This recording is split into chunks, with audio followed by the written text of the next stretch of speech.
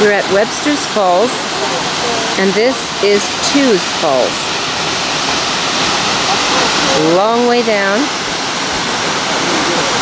and a very beautiful day to enjoy Webster's Falls and the Tews Falls.